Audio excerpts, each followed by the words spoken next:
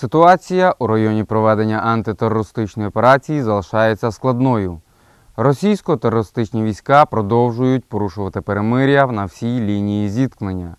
У порівнянні з попередньою добою кількість ворожих збройних провокацій зросла майже вдвічі і сягнула 33.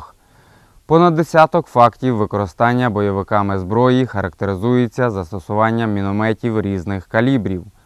Особливо активно противник порушує домовленості про припинення вогню за темної пори доби. Так і з настанням сутінок ворог активізувався на світлодарській дозі. Зі 120 та 82 мм мінометів, гранатометів, стрілецької зброї та озброєння бойової машини піхоти були обстріляні оборонці Луганського. На підступах до Донецька факти застосування противником піхотного озброєння зафіксовані неподалік Авдіївки, Мар'їнки та шахти Бутівка. На Луганському напрямку бойовики вели вогонь із 82 мм мінометів, гранатометів та стрілецької зброї поблизу Катеринівки, а з великокаліберних кулеметів по захисниках Валуйська. За минулу добу внаслідок активних бойових дій втрат серед військовослужбовців Збройних сил України немає. За інформацією Головного управління розвідки Міністерства оборони України, за минулий тиждень втрати противника склали 35 осіб, із яких 9 безповоротних.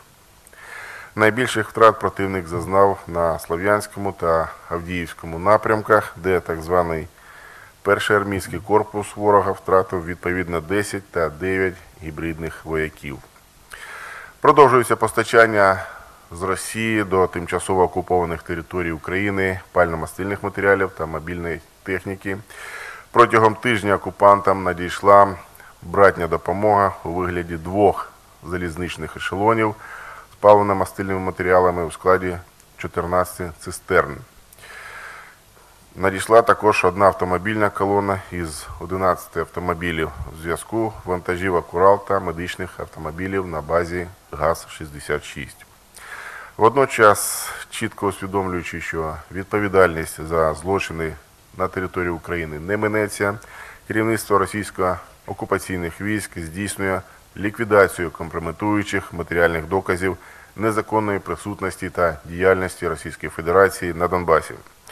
Так, за уточненою інформацією, 7 липня з окупованого населеного пункту Макіївка в напрямку Російської Федерації висунулася колона у складі до 35 ван- завантажених великогабаритних автомобілів із заклеєними цивільними номерними знаками Російської Федерації. Встановлено, що в такий спосіб російськими кураторами організовано вивезення з тимчасово окупованих територій ОРДЛО на територію РФ службової документації та цінного обладнання.